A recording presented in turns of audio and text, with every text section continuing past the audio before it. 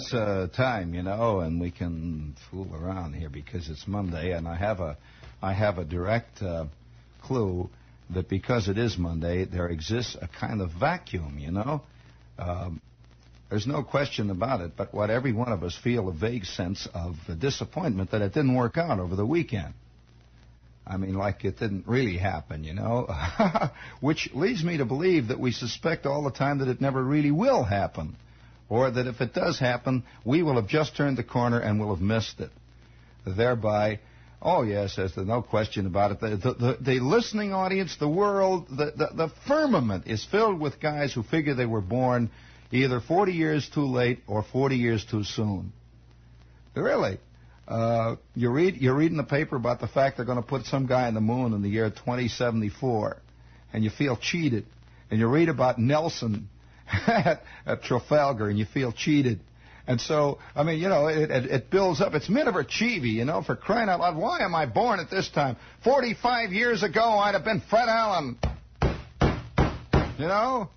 crying out loud, 28, uh, and so it goes. But of course, uh, we're living in good times. One, one of the things we're living that I think in, we're living in a time where every knothead has his right to make comments about the conditions and the situation that is, and they're all given good, solid weight in the press. Every knothead is is, is uh, can, uh, all you have to do is get yourself a good agent and a couple of good one-liners about the Kennedy administration, and Dad, you got yourself booked from coast to coast in every hip nightclub you can find. No problem. You know that, Bob? You're in the wrong business. I'm serious about it. And and you know, uh, there, there, there's all kinds of books coming out. There's one book on uh, uh, on uh, a book on uh, the uh, secrets of creative positive anger or how to build yourself a nightclub act and seven easy golden rules to success and how to even get yourself an agent. True, you know there is a book on that, on how to be creatively bugged. That a lot of guys don't know just how to be angry anymore. I mean, you know, they, they hear they hear all these very hip. They, they they read they read Feiffer, for example, and they feel cheated. Why wasn't I mad at that? Crying out loud, you know. Uh, if you could get just about a quarter of a step ahead of the rest of the crowd, you could become syndicated. Get yourself a record and you know make it make it big. It's it's a very difficult problem, but uh, it, it's it's leading us into some wild, turbulent waters. And I think one of the wildest bits of turbulent water that we're going to encounter in a long time is the obvious fact that uh, America has developed a very new tangent Bob. Are you aware of this? Yes, that no matter what political stripe you are, whether you're Democrat, Republican, or whether you're conservative or liberal, whether you're just angry or bugged, whether you're hip or square, whatever, whatever stripe you are, that whatever happens to us, or the world, whatever happens in the world, is because somebody loused up in the government. Somebody did it. Uh, this is an interesting attitude. It never was like that before. You know, oh sure, so you know, always people blamed other people for stuff, but it was never universal. Now, no matter what what happens, the, the, the Democrats will demand an investigation, the Republicans demand an investigation, the liberals will march with signs, and the conservatives will plot to burn down the city hall. And, and, no matter what happens, if it happens in Tibet, you know, that's a very interesting new problem. It's as though every time Mickey Mantle hit a home run, we blamed Warren Spahn. You know? Which I'm sure some fans do, or whoever's pitching. So you're sitting out there. You know, there's two ways to look at, a, at an event. Uh, when, when let's let's say uh, let's say that uh, Juan Pizarro is pitching. Pizarro is pitching good ball. See, uh, he's allowed three hits. It's in the eighth inning. Now, come on, cut it out. Now, what are you doing that for? Don't start picking your nose at this hour. Now, wait till it's over. So Juan Pizarro is pitching. See, everybody, all of us, that's the little thing. I'll never forget a guy on stage at a great big show I saw. It's wild. The, that was, it was a sense, it was, it was a beautiful production of a Hamlet. And some lout who's standing in the back row holding up a cardboard spear starts scratching at the precisely wrong moment, forget it. Poor Olivier should have stayed home in his igloo. I mean, and John Gielgud was dead, and this this this cretinous lout was scratching. He scratched and scratched and scratched, And, and, and I know what was happening to 2,000 people in the audience because I could just see all the heads go like that. And they waited, you see, while he, and he scratched all the way through two complete soliloquies, a monologue, and a dueling scene. so, remember that. but but nevertheless, uh, oh, incidentally, what was so fascinating was that later that night, everybody went home and thought, you know, there was something lacking in tonight's, but I don't know, it just didn't have the zing that it usually has. Sure, they should have decapitated that lout five minutes before the curtain went up, or got him deloused. I don't know which or the other, you know. I mean, he had that problem that a lot of people have. But uh, while, while getting back, while getting back to the problem here, uh, we are living in wild times where I'm fascinated with all this business of Hoppe, you know, making his comments uh, about. We, we, we live in a time now where, where laws are literally viewed upon as things that bug us personally. You know, they get rid of the law because that law is bugging me. And uh, it's a persecution, that law, which is a very interesting attitude towards our, our, our society. And I imagine that if Al Capone were around today, somebody would think to do a one hour program called Al Capone Tells You What He Thinks of the FBI. And, uh, and he would be listened to seriously, you know, they seriously listen to what he has to say about it, which, uh, which leads to an interesting problem in American jurisprudence. And any good lawyer will, will tell you the problem involved. And uh, it, it has it, it's, it's wildly interesting to me, and I can see all around, everywhere you look, there is a peculiar kind of feeling that the government is cheating. Uh, primarily, I suppose, because the world isn't going the way we like it. Uh, one of the one of the most interesting remarks made about the subject of this whole business of, say, for example, w- one of the big things they're talking about today is uh, news managing. Well, oh yeah, managing the news. You know, you've heard about this. And uh, what's what's fascinating is that, that the management of news, which is called in other circles public relations, is as mu- is as much a part of the American way of life, believe me, as Mother's Day. And uh, it really is. And we, we, every company, every, I'll tell you, the New York Times has got a PR outfit. I know this, which is devoted to, to creating the New York Times image. Uh, it's fascinating. If a paper manages the news, it calls itself editorializing. It sets itself off. And, and in the end, uh, the idea of managing news is very interesting because one of the reporters recently made the comment that the, that the current administration is far more open to reporters than any administration has been in, in, in recent memory. In other words, a reporter can actually get in and talk to people. So he is finding out an interesting thing. I think we are. That the more open you are, the more people suspect you when things happen.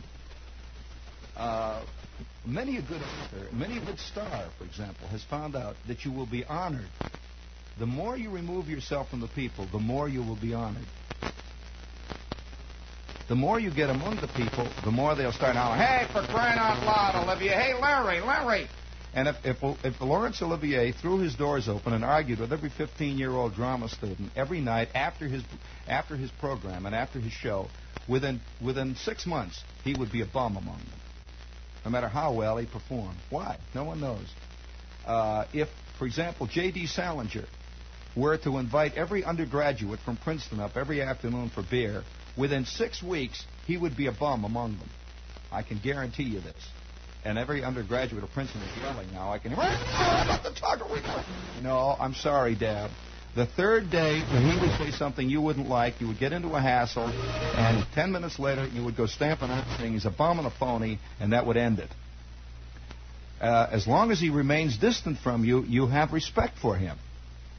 Uh, it's that's an interesting problem. It really is. Uh, you, you, you want the very thing that you don't want, and the very thing you do want destroys you. And I suspect that uh, that uh, that there is a thing creeping through the American system that is very new, uh, and that is that we have a tendency today to look upon everything that does happen across the world as somehow we've loused up. It's this kind of acceptance of universal guilt, you know, no matter what it is. If the locusts eat the rice crop in Tibet, Why didn't the agricultural department do something about it? They could have known the locusts were coming for crying out loud. Now look at the Tibetans turning. We sold the Tibet. Now look at that. We sold out Tibet.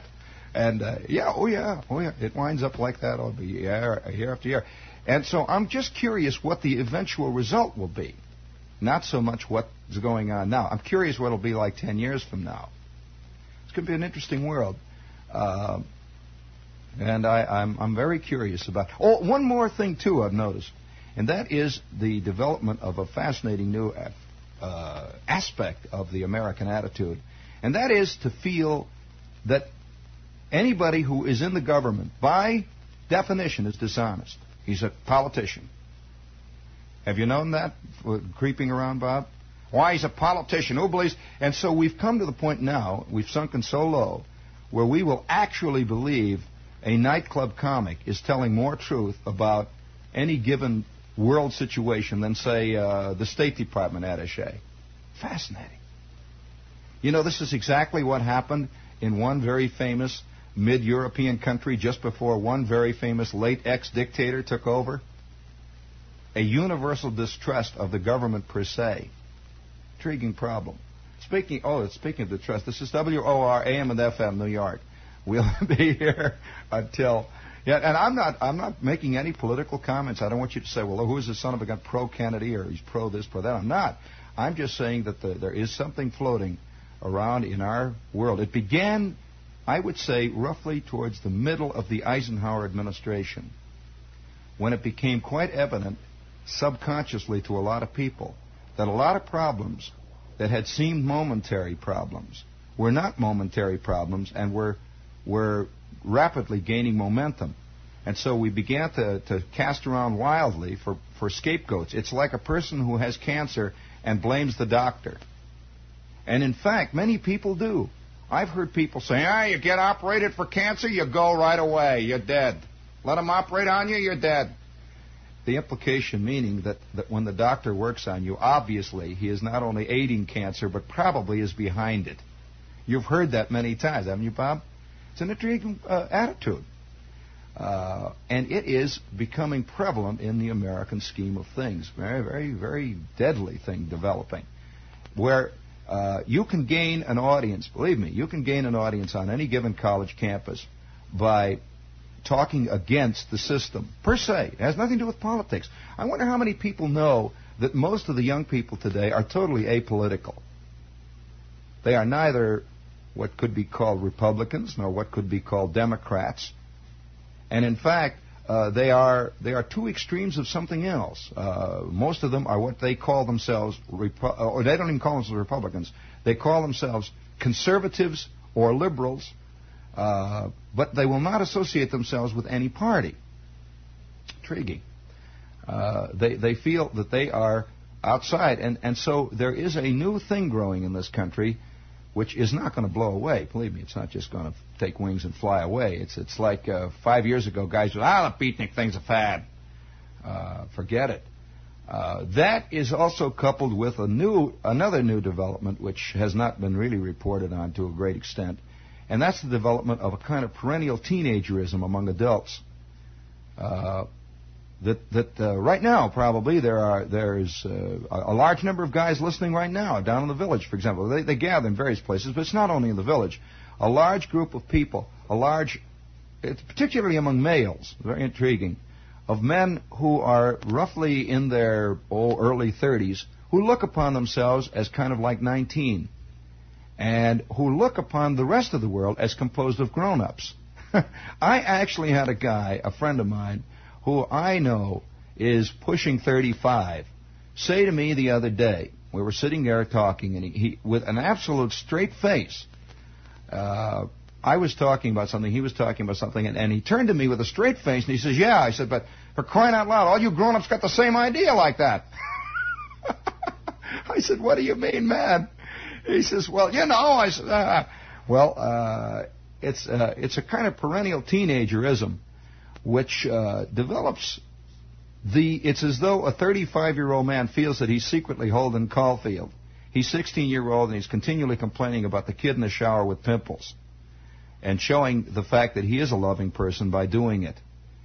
Uh, it's a very intriguing problem developing here. And that is also a problem which, among another group of people in another well known mid European country, developed.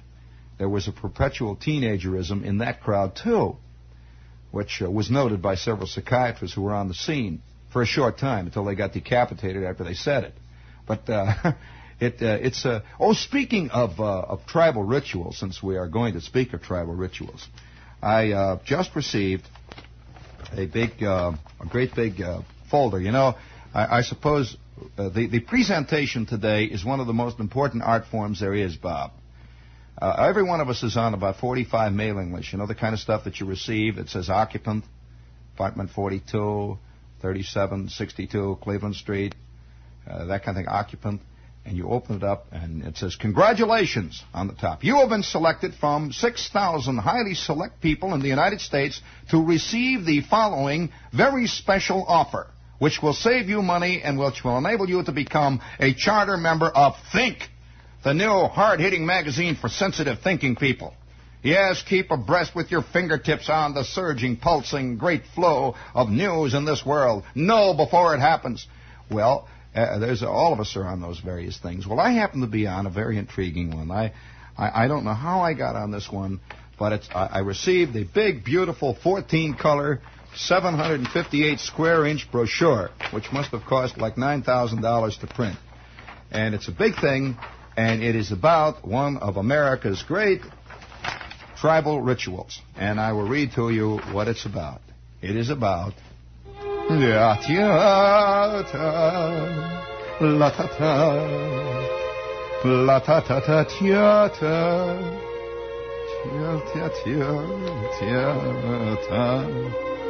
And there in the center of this lovely 14 color brochure is a picture of a crinkly eyed, typical American woman. Not old, not young, not sexy, not sterile, not friendly, not really angry, arms outstretched in love.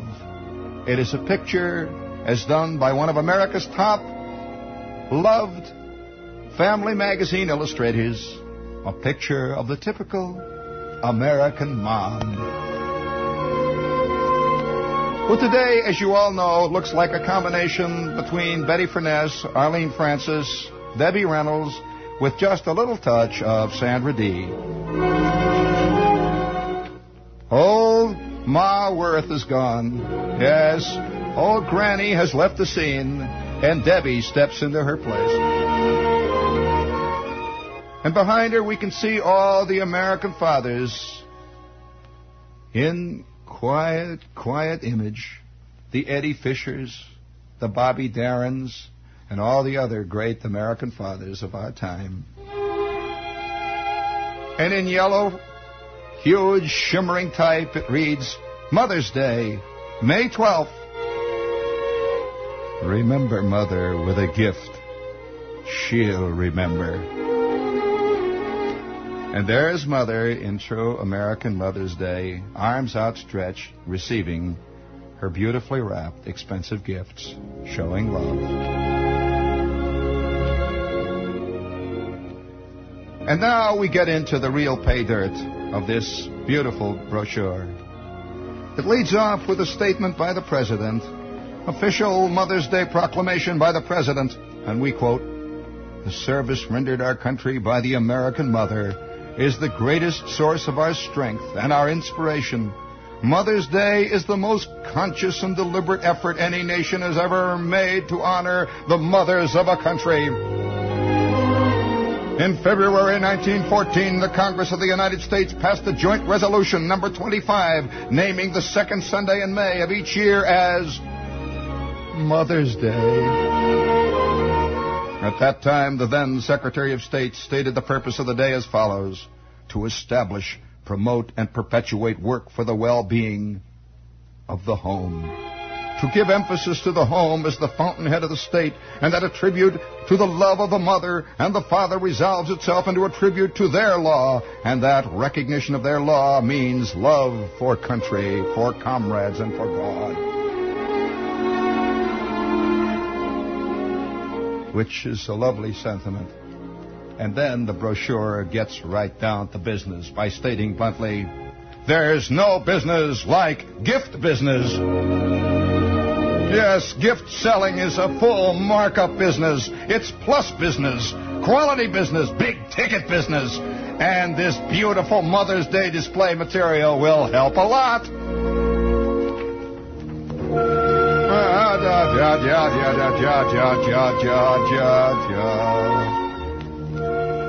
The National Committee on the Observance of Mother's Day began promoting this great event in 1941, 22 years ago. Leading and successful retailers know that this committee has been the inspiration and the spearhead of this event becoming a billion dollar resale sales maker.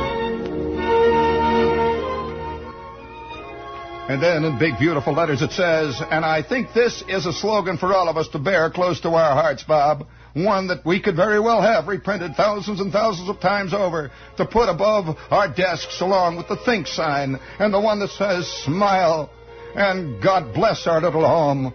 This lovely, typically American, beautifully, beautifully delineated slogan, don't sell Mother's Day short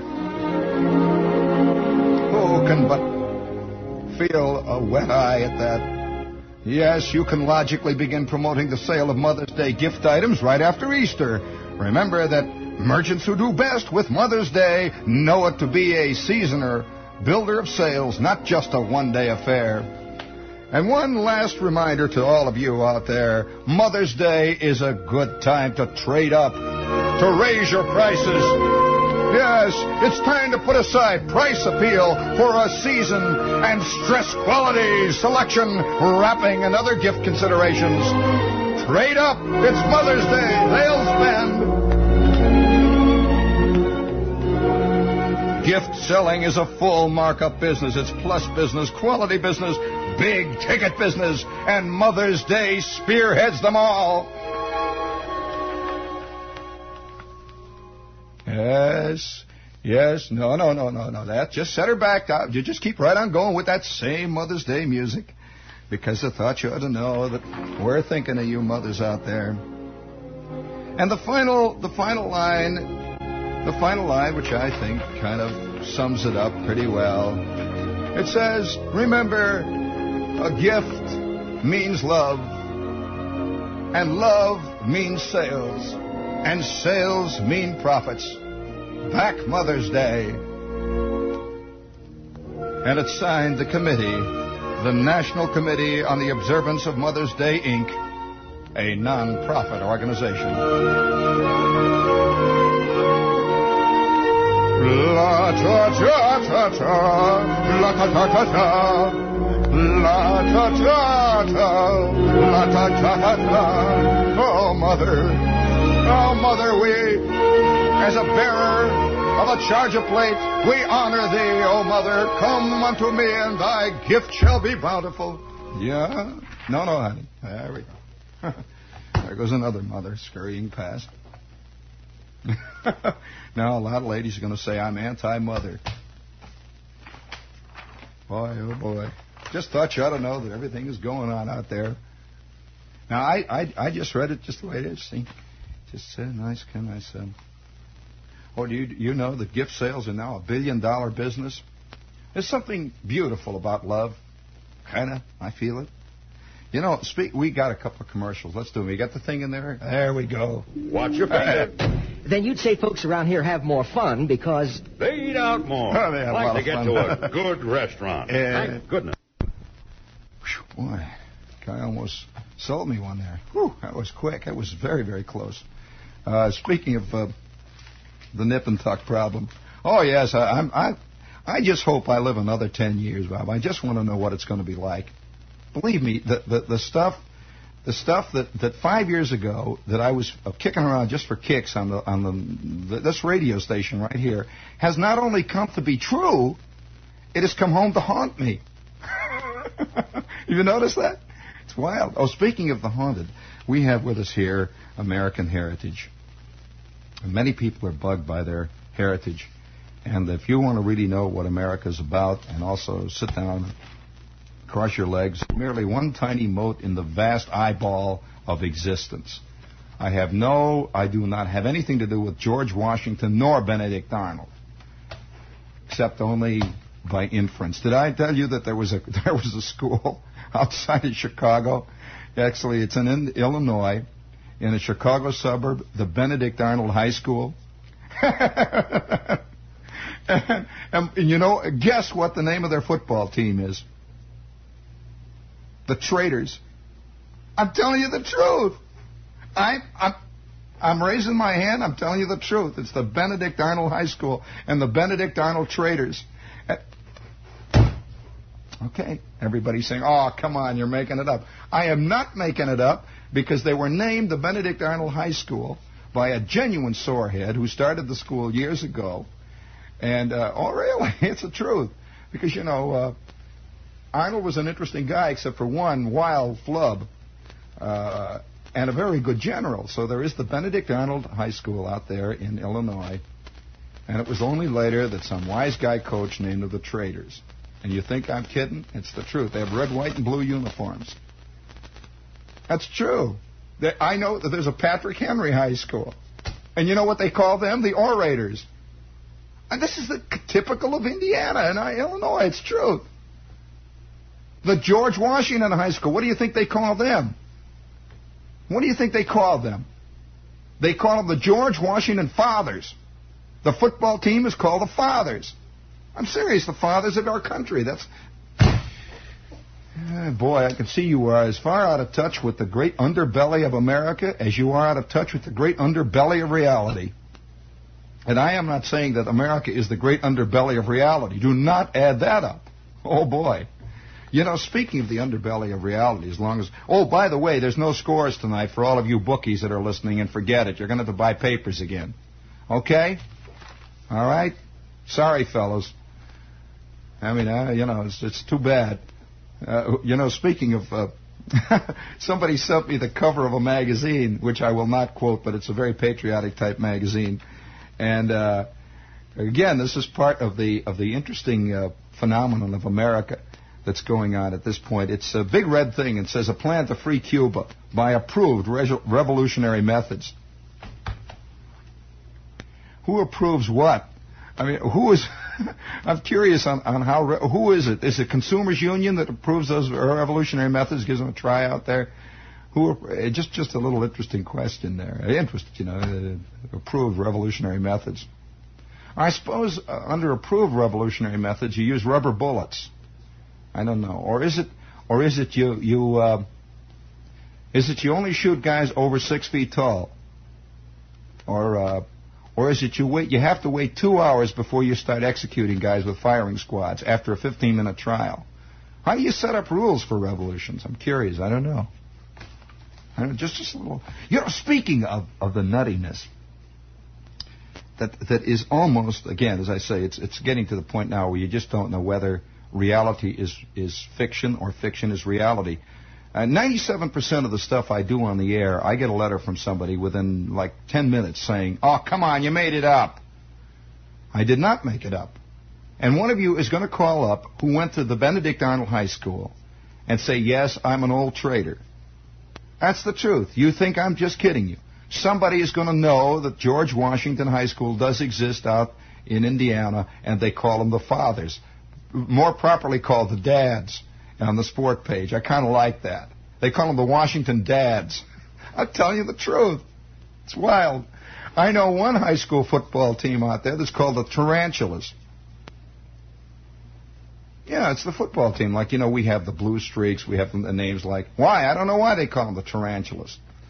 The Spiders. So it's a rotten neighborhood. Maybe, maybe there's a reason for calling them that. I don't know. But they do come from a rotten neighborhood. The high school itself is one big rumble. As a matter of fact, it is one big. It's, it's they were rumbling long before they ever heard the word, long before Leonard Bernstein got hold of the idea. I can tell you that, Dad. Those guys were improvising switchblades before the Stone Age went out. well, while we're on the subject of of uh, of, uh, of the juvenile delinquent world that we live in, I have here an advertisement which I would like to read to you, which I did not make up which I will read uh, word for word. Now, you've been, and I'm not going to make any editorial comment because it makes its own editorial comment.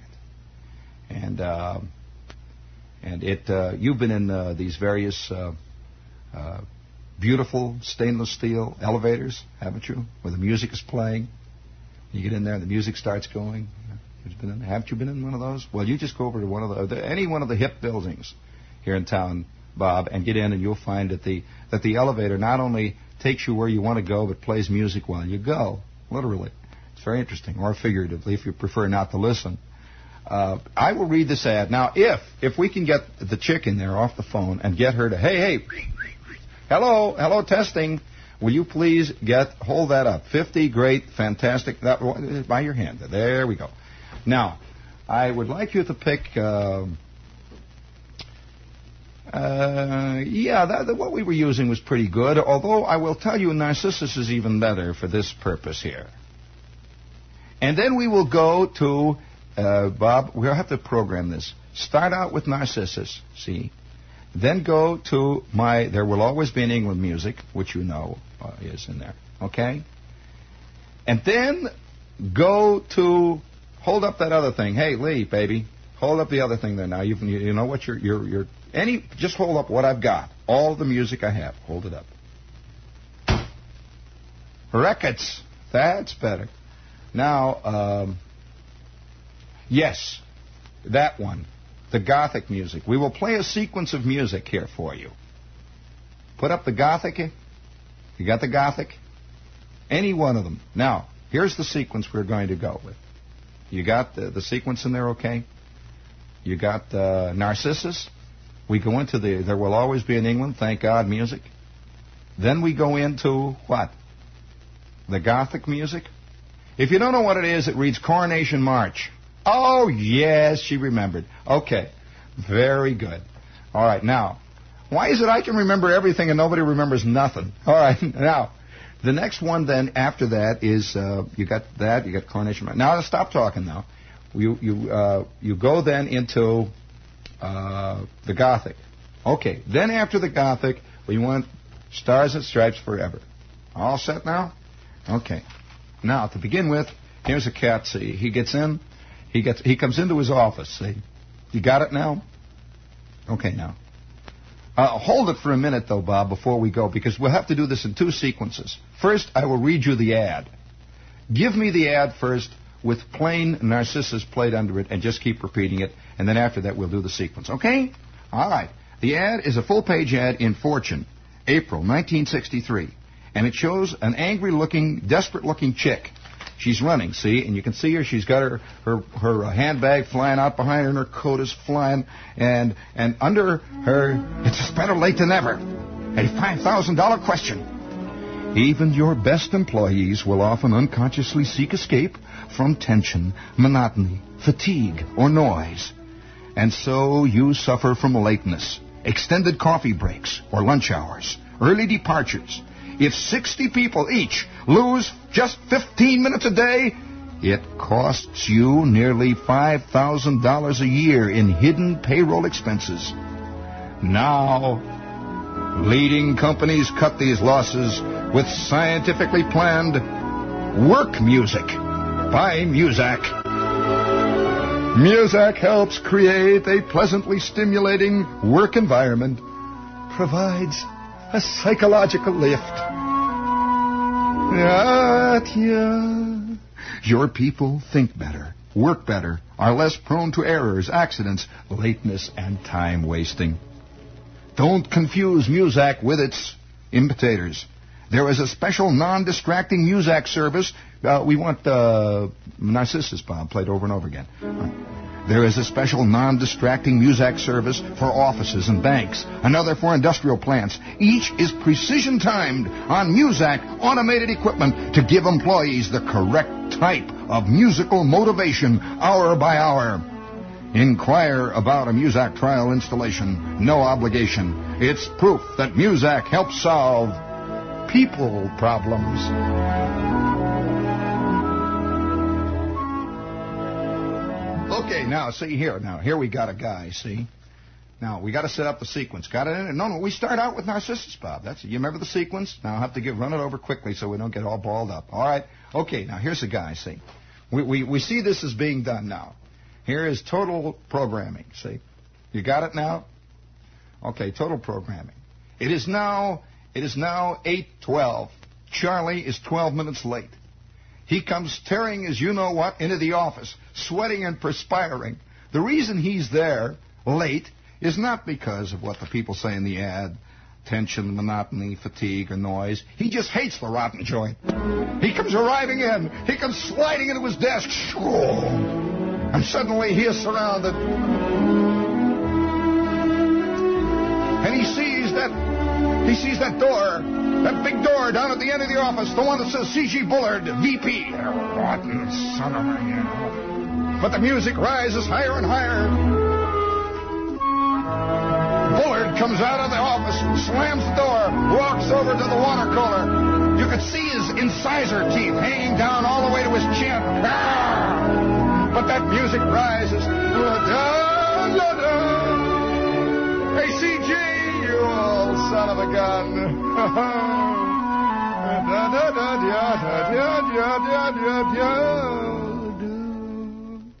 And with that, Bullard goes back into his office. Boom! The door slams, and the next bit of work program music comes on. This means get on the ball now, Henry. Pick up the ball. Thank God. The phone rings. The purchasing department is on the phone. Henry is marching forward with all of England, all of Western civilization behind him. Huh, ah, hey, CG, send me up those invoices, will you? Yeah. Hey, Myrtle, have you got those mimeograph copies of Form 37 done yet? Let's go for crying out loud. Let's pick up that load. Let's put that bale. Let's lift that barge. Get a little drunk and you land in jail. Let's go. Oh, it's, God, it's great to be here. It's great to be lifting this barge and toting this bale, moving all these papers around from one basket to the other, making all these great phone calls. Hello, Pete, you old son of a gun. Get on the ball down there. Get them things going. Oh. Now you see, for one brief moment, it has been noted by the music people that immediately after, oh, you cut it too quick. I wanted that next trumpet blast there. One brief moment after he has been inspired by this gigantic coronation march through the westward countries, all through the great glacial covered plains of boredom and ennui, because he hates this rotten joint. They have to bring on a, oh, well, that's all right. You can bring on Le Prelude. That'll be all right. They have to bring on a gigantic trumpet blast. Oh, yeah. Excuse me, fellas. Stereophonic, with highs, with lows, with middle range, with accordions, with xylophones, with trumpets. Bum, bum, bum, bum, bum, bum, bum. By God, he's doing boom, boom, boom, boom, boom. His stapler is red hot. His stamp is worn down to an oven.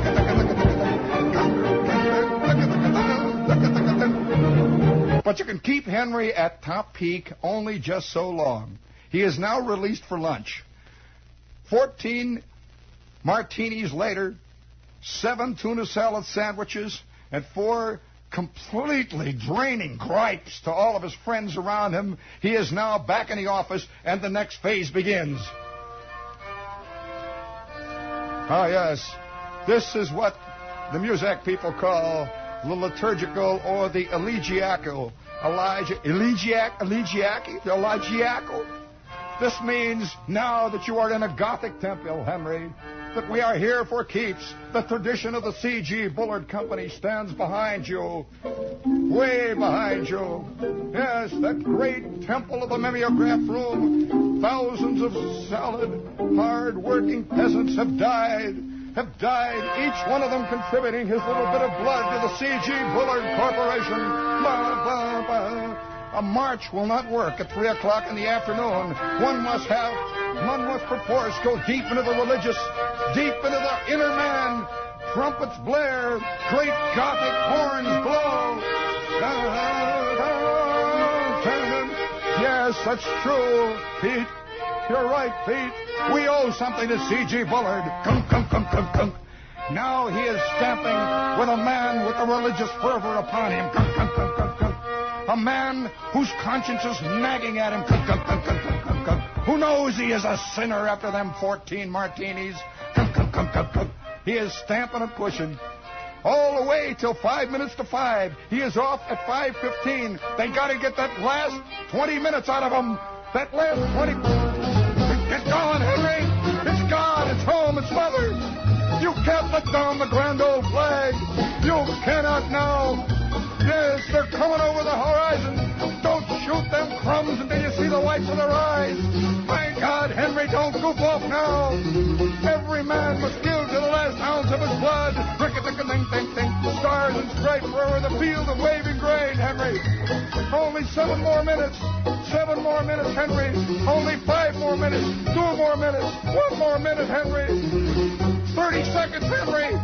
Go, Henry. Go, go, go, go, go, go. 10 seconds. Go, go, go, go, go. Okay, CG, I'll call you in the morning. Five seconds, Henry. Don't give up yet. Three seconds, two seconds, one second, zero. Henry is gone. Boom. And Muzak brought him through. Keep your knees loose, Dad. This is WOR Radio, your station for news.